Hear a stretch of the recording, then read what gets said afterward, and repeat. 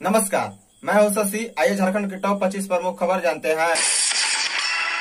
झारखंड के बेरोजगार युवा अब बेचेंगे शराब। झारखंड सरकार पढ़े लिखे बेरोजगार युवाओं से शराब बेचवाने की तैयारी कर रही है। बता दें, लोकसभा में एक बार चर्चा का विषय था कि पढ़े लिखे बेरोजगार पकौड़ी बेचकर कमा सकते हैं। तब उस समय देश के सभी विपक्षी पार्टी ने सरकार के इस बयान पर जमकर विरोध किया था। वहीं अब झारखंड सरकार पढ़े लिखे बेरोजगारों के लिए शराब बेचवाने की बहाली निकाल रही है और इस बहाली के लिए युवाओं का इंटरव्यू ले रही है। बता दे राज्य के कई जिला समाहरणालय के उत्पाद विभाग के कार्यालय में पढ़े लिखे बेरोजगार युवा इंटरव्यू के लिए पहुँच रहे हैं। यह लोग शराब दुकान में बतौर सेल्समैन और मैनेजर की भूमिका निभाने वाले हैं, जिसके लिए इन लोगों का इंटरव्यू लिया जा रहा है। इसमें कई छात्र तो बीटेक हैं तो कई एमटेक कई ऐसे हैं जो बीएससी की डिग्री लिए हैं। वहीं कई मैट्रिक और इंटर की पढ़ाई कर रहे हैं। मौसम विभाग के अनुसार झारखंड के ऊपर एक निम्न दबाव का क्षेत्र बन रहा है। इससे कई जिलों में मौसम का मिजाज इक्कीस अप्रैल से बदल सकता है। बता दें, संथाल, परगना और मध्य झारखंड में कहीं कहीं बादल और गर्जन के साथ हल्की बारिश हो सकती है। इससे लोगों को गर्मी से राहत मिल सकती है। हालाँकि पलामू परमंडल में गर्मी का कहर जारी रहने और लू भी चलेगी मौसम वैज्ञानी अभिषेक आनंद के अनुसार झारखंड में एक साइक्लोनिक सर्कुलेशन बन रहा है। इससे बना एक टर्फ पश्चिम से असम की ओर जा रहा है। इससे 22 अप्रैल तक हल्के से मध्यज की बारिश हो सकती है। झारखंड में चौकीदार नियुक्ति नियमावली का गयट जारी। राज्यपाल द्वारा गृह विभाग द्वारा चौकीदार संवर्ग की भर्ती, सेवा शर्तों एवं प्रोन्नति से संबंधित नियमावली की स्वीकृति के बाद 7 अप्रैल 2015 को अधिसूचना जारी की गई, लेकिन इस अधिसूचना का गयट सात साल बाद 13 अप्रैल 2022 को जारी किया गया है।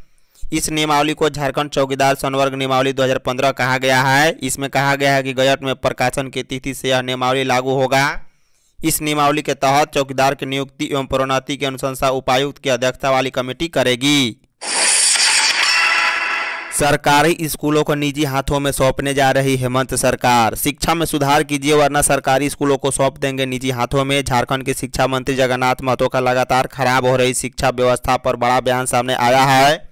बीते दिन बोकारो में मुख्यमंत्री हेमंत सोरेन की सरकार के शिक्षा मंत्री ने बच्चों की कमतर पढ़ाई लिखाई का स्तर जांचने के बाद शिक्षा विभाग और शिक्षकों को जमकर हड़काया। उन्होंने साफ़ शब्दों में कहा कि शिक्षा में सुधार की बहुत गुंजाइश बाकी है। ऐसे में अगर आप सरकारी स्कूलों को बेहतर नहीं बना सकते तो सरकार इन स्कूलों को निजी हाथों में सौंप देगी ताकि बच्चों को सुनहरा भविष्य दे सके। ऐसे में हमें आप कमेंट बॉक्स में बताएँ कि क्या सरकारी स्कूलों को निजी हाथ में सौंपने से शिक्षा में सुधार हो सकता है या नहीं? सीबीएसई दसवीं बारहवीं एडमिट कार्ड डाउनलोड। केंद्रीय माध्यमिक शिक्षा बोर्ड 26 अप्रैल 2022 से दसवीं और बारहवीं की बोर्ड परीक्षा आयोजित करने के लिए पूरी तरह तैयार है। अब तक जानकारी के मुताबिक छात्रों को अपने स्कूल से हटकर दूसरे परीक्षा केंद्र पर ऑफलाइन मोड में परीक्षा देनी है। CBSE term two admit card 2022 जारी कर दिए गए हैं। सीबीएसई कक्षा दसवीं और बारहवीं टर्म टू परीक्षा के लिए आधिकारिक वेबसाइट डॉट इन पर बीते दिन रोल नंबर और एडमिट कार्ड जारी किया गया है। कोरोना की चौथी लहर के बीच बिहार में बूस्टर डोज फ्री झारखंड में देने पड़ेंगे पैसा।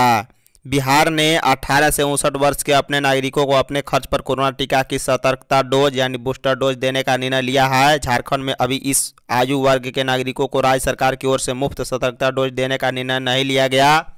बता दें, स्वास्थ्य विभाग के पदाधिकारियों के अनुसार अभी इस संबंध में विचार नहीं किया गया है। अभी केंद्र से मिलने वाली वैक्सीन से ही सरकारी टीका केंद्र में टीकाकरण किया जाएगा। झारखंड में फ़िलहाल गिने चुने सरकारी अस्पतालों में ही सतर्कता डोज तीन सौ के भुगतान पर लगाई जा रही है।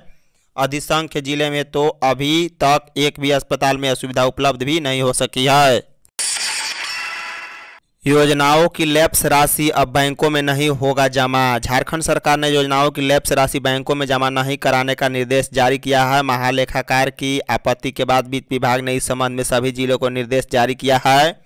वित्त विभाग ने अपने निर्देश में पदाधिकारियों को हिदायत दी है कि राशि बैंकों में जमा कराने के बजाय राजकोष में जमा कराए। बैंकों में योजनाओं का लैप्स पैसा जमा कराना वित्तीय अनुशासनहीनता है। झारखंड के तीन जिलों में बच्चों को मानक के अनुरूप नहीं मिल रहा मिड डे मील। झारखंड के तीन जिलों के कई स्कूलों में बच्चों को दिए जा रहा मध्याह्न भोजन मिड डे मील मानक के रूप में नहीं पाया गया है। इनमें रांची, हजारीबाग एवं खूंटी जिला शामिल हैं। इन स्कूलों में भोजन के नमूने की जाँच में उसमें पोषक तत्व की वैल्यू कम मिली। झारखंड मध्यान्ह भोजन प्राधिकरण की निदेशक किरण कुमारी ने इन जिलों के जिला शिक्षा अधीक्षकों को पत्र भेजकर इसकी जानकारी देते हुए इसकी जाँच कर प्रतिवेदन उपलब्ध कराने को कहा। साथ ही हिदायत दी है कि इसकी पुनरावृत्ति न हो। झारखंड सरकार की योजनाओं का होगा यूनिक आईडी नंबर झारखंड सरकार की योजनाओं का भी यूनिक आईडी नंबर होगा। स्वास्थ्य विभाग से इसकी शुरुआत हुई है। इसके तहत प्रत्येक स्वास्थ्य योजना को निर्धारित पैटर्न के अनुसार पहचान संख्या दी जाएगी ताकि उनकी ऑनलाइन एवं ऑफलाइन दोनों माध्यमों से निगरानी हो सके। स्वास्थ्य विभाग के अपर मुख्य सचिव अरुण कुमार सिंह ने योजनाओं को पहचान नंबर देने से संबंधित विस्तृत दिशा निर्देश जारी कर दिया है। रांची के मांडर टोल प्लाजा में हंगामा है। रांची के मांडर स्थित टोल प्लाजा में जमकर हंगामा हुआ। एक कार चालक और उसकी पत्नी से दुर्व्यवहार करने के आरोप में लोगों ने हंगामा किया। हंगामे के बाद टोल टैक्स वसूली का कार्य बाधित हुआ। वहीं हंगामे की जानकारी मिलते ही पुलिस मौके पर पहुँची है। उधर मुख्यमंत्री हेमंत सोरेन की माँ रूपी सोरेन की तबीयत खराब हो गई है। बुधवार को उनको अस्पताल में भर्ती कराया गया है। चिकित्सक के मुताबिक ब्लड प्रेशर बढ़ने और उल्टी की समस्या के बाद अस्पताल में भर्ती किया गया है। हालाँकि अल्ट्रासाउंड सहित जाँच रिपोर्ट नॉर्मल आई है।